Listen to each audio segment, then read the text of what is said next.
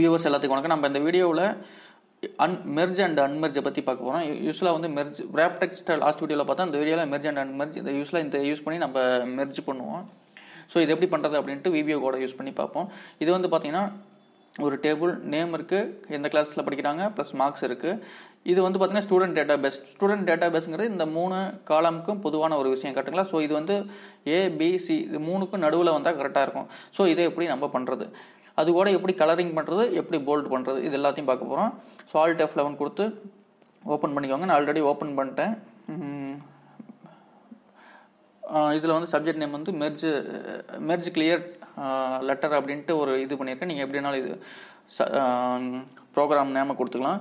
சரி okay first வந்து நான் ஆல்ரெடி ப்ரோக்ராம் எழுதிட்டேன். ரேஞ்ச் அதாவது இந்த மூணு இதையும் செலக்ட் பண்ணிக்கோங்க. Range A one to C one equal to merge அடுத்தது பார்த்தீங்கன்னா range A one to C one unmerge merge பண்ணுறதுக்கு அப்படியே மறுபடியும் அதை அன்மெர்ஜ் பண்ணணும்னா மறுபடியும் அதே எந்தெந்த ரேஞ்ச் அன்மெர்ஜ் பண்ணணுமோ அதை வந்து மென்ஷன் பண்ணிக்கோங்க. டாட் அன்மெர்ஜ்னு கொடுத்தீங்கன்னா அன்மெர்ஜ் ஆயிரும். இதுக்கு மேலே நான் ரன் பண்ணி காட்டுறேன் அப்படின்ட்டு எஃப் எயிட் ப்ரெஸ் பண்ணுங்கள் ப்ரோக்ராமோட இதில் வந்து என் சப்னு இருக்குங்க கட்டுங்களா என் ஓகே சப்புங்கிறது வந்து டெலிட் பண்ணிட்டேன் நினைக்கிறேன். ஓகே ஆ இப்போ வந்து ப்ரோக்ராம் கரெக்டாக இருக்கும். சரி ஓகே எஃப் எயிட் மறுபடியும் எஃப் எயிட்டை ப்ரெஸ் பண்ணுங்கள் ஸோ இப்போ இதை பார்த்துக்கிட்டே இருங்க. ஆட்டோமேட்டிக்காக மெர்ஜ் ஆயிடுச்சு பார்த்தீங்களா மெர்ஜ் ஆகி ஒரே ஒரு இதாக ஃபார்ம் ஆயிடுச்சு. அடுத்தது வந்து மறுபடியும் எஃப் எயிட்டை நான் ப்ரெஸ் பண்ணேன்னா மறுபடியும் அது அன்மெர்ஜ் ஆகி நார்மல் ஆகிடுது இப்போ மூணு செல்லாக மாறிடுது. ஸோ மெர்ஜ் அன்மெர்ஜ் நம்ம இப்படி தான் யூஸ் பண்ணோம். இப்போ வந்து மெர்ஜ் பண்ணதுக்கப்புறம் கலரிங் எப்படி அந்த ரேஞ்சை பண்ணுறது அப்படின்னு நான் சேம் வந்து இப்போ மெர்ஜ் அன் அன்மெர்ஜ் முடிஞ்சது கலரிங் எப்படி பண்ணுறது நான் சொல்கிறேன் பாருங்கள் இதை காப்பி பண்ணிக்கோங்க.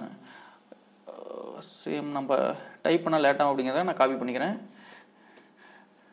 ஆல்ரெடி இந்த ப்ரோக்ராம் பார்த்துருக்கோம். இருந்தாலும் ஒரு ரெஃபரன்ஸ்க்காக மறுபடியும் சொல்கிறேன் டாட் ஃபாண்ட் டாட் போல்டு போல்டுங்கிறது ரெண்டு விஷயம்தான். ஒன்று ட்ரூ இல்லைன்னா ஃபால்ஸ் இப்போ வந்து நம்ம ட்ரூ பண்ணணும். அப்போ தான் வந்து போல்ட் ஆகும் அந்த இடம்.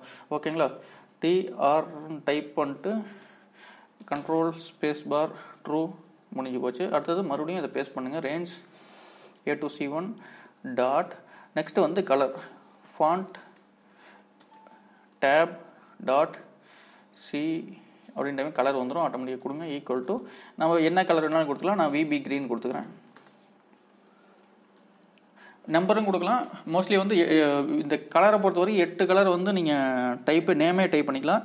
நீங்கள் வந்து இந்த கலரில் போய் டிஃப்ரெண்ட்டான கலரு சில மிக்ஸ் பண்ண கலர் அப்படின்னா அதுக்கு வந்து நம்பர் தான் நம்ம கொடுத்தோம் சரி ஓகே இதை நான் இப்போ வந்து ரன் பண்ணுறேன் எப்படி இதாகுதுன்னு பார்க்கலாம். F eight F eight merge ஆயிடுச்சு ஆட்டோமேட்டிக்காக ஏபிசி மூணு மெர்ஜ் ஆயிடுச்சு அடுத்து வந்து போல்ட் ஆயிடுச்சு பார்த்தீங்கன்னா அடுத்தது வந்து range font colour equal to VB green ஆட்டோமேட்டிக்காக விபி கிரீன் ஆயிடுச்சு இப்போ பாருங்கள் எப்படி இருக்குது எந்த கலர் வேணாலும் கொடுத்துலாம் இந்த கலர் வந்து பார்க்கறது அந்தளவுக்கு நல்லா இல்லை.